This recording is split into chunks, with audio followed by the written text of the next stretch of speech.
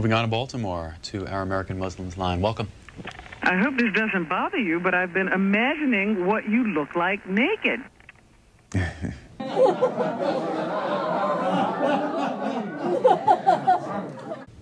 I think we're going to move on right to uh, Philadelphia.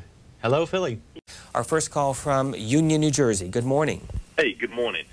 I'm a soldier. I'm serving in the U.S. Army. I'm over there in Germany. I'm back here in the States right now for a little while. Mm-hmm. You know, I have to say, in regards to all these people that are so anti-American, you know, in protest, you know, they want to. They're protesting all over Europe against this. You know, all I have to say to them is that you know I'm an American and I can suck my own cock.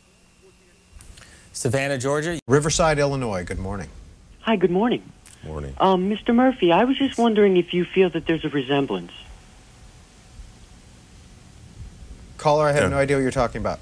Uh, do you feel that there's a resemblance between your pubes and the hair on your head?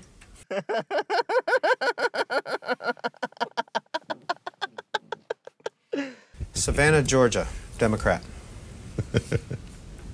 Call Newark, New Jersey. Go ahead.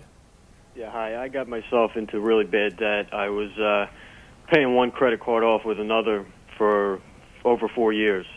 Uh, I just went on and on, and you know, I mean, I'm like really broke right now, about to file bankruptcy. I, you know, I'm trying to get a penile implant. I need to enlarge my uh, package to pick up the chicks these days.